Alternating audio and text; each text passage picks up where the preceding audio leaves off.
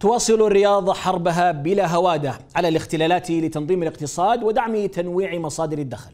وهو ما عكسته حصيلة مكافحة الفساد التي أطلقها ولي العهد السعودي الأمير محمد بن سلمان. حملة عفوا. حملة حققت حملة حققت عوائد مهمة للخزانة العامة حيث استردت الحكومة السعودية 247 مليار ريال أي ما يناهز 66 مليار دولار فضلا عفوا فضلا عن أصول بعشرات المليارات تشمل عقارات وأسهم. كل ذلك في إطار جهد يرمي لمحاربة الاختلالات وتنظيم الاقتصاد وتنويع مصادر الدخل. للحديث حول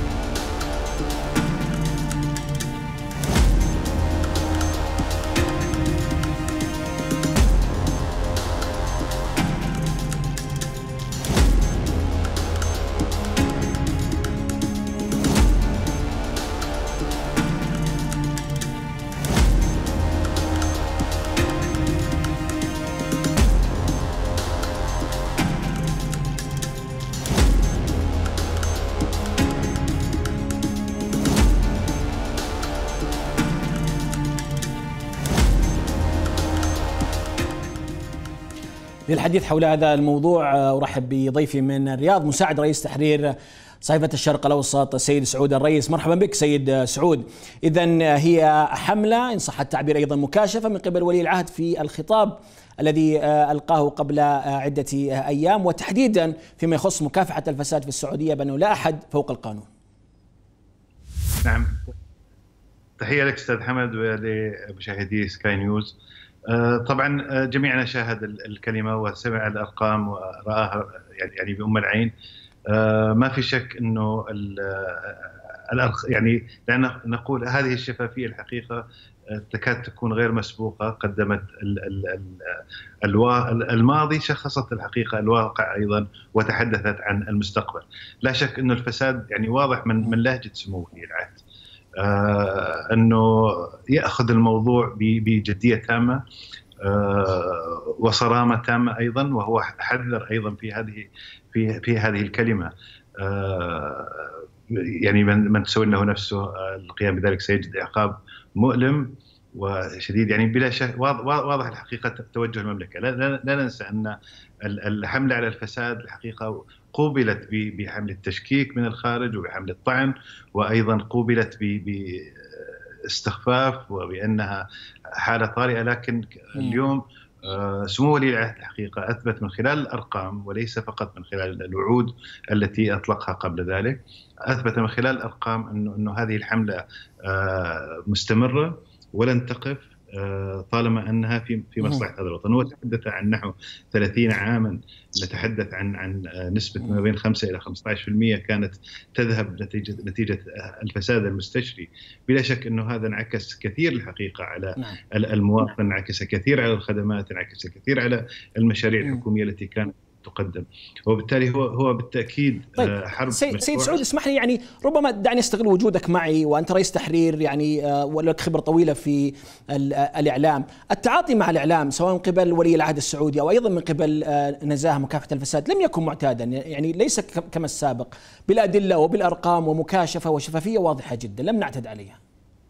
يعني دعنا دعنا نتحدث بصراحة بما أن الحديث هنا بشفافيه بالشفافية التي تحدث بها سمو ولي العهد نتحدث أيضا بالشفافية هذه. في الحقيقة كانت إلى إلى فترة قريبة الحقيقة لم يكن هناك يعني ذلك التجاوب الحقيقة الكبير مع الشكاوى التي تقدم مع القضايا التي يتم الإشارة لها. لكن منذ العام 2017 حقيقة اختلف المشهد.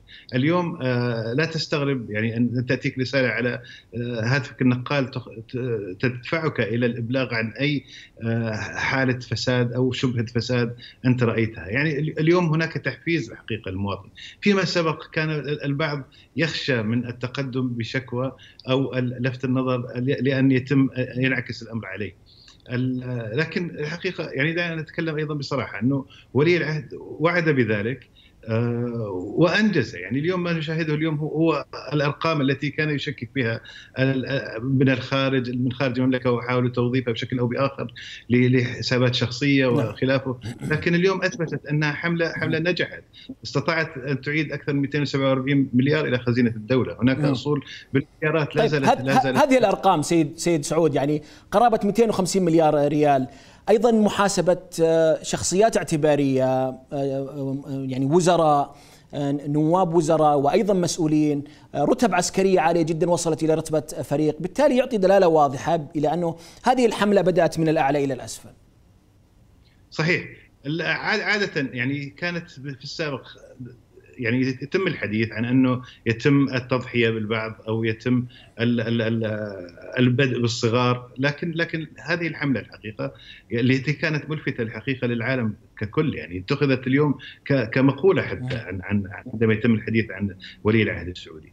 فعندما نتحدث عن عن عن مثل هذه الآلية التي تم العمل عليها. بالتأكيد وضح تأثيرها اليوم. هي بدأت من من أعلى الهرم إلى إلى الأسفل ولا زالت مستمرة. يعني في السابق كان كان الشعار كائنا من كان. اليوم من تسوي له نفسه كبيرا أو صغيرا.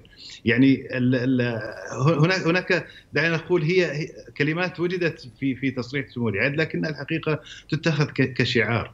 وهذا هذا يعني لا نعم. طيب يعني أختم دعني دعني أختم معك سيد آه، سعود يعني هذه الشفافية التي تتحدث أنت عنها يمارسها ولي العهد السعودي تأثيرها وانعكاسها على التصنيف للمملكة العربية السعودية في مؤشرات الشفافية وأيضا انعكاسها على الاستثمار أو جذب الاستثمارات الخارجية للبلاد وبدقيقة لو تكرمت.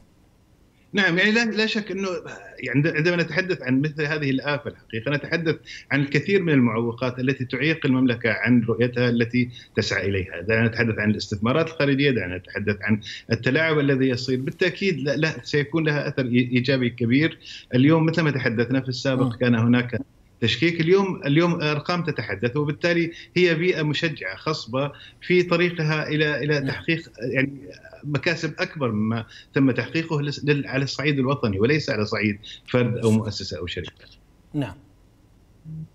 نعم شكرا لك ضيفي من الرياض الأستاذ سعود الرئيس مساعد رئيس تحرير صحيفة الشرق الأوسط كنت ضيفا معي لهذه الحلقة شكرا لك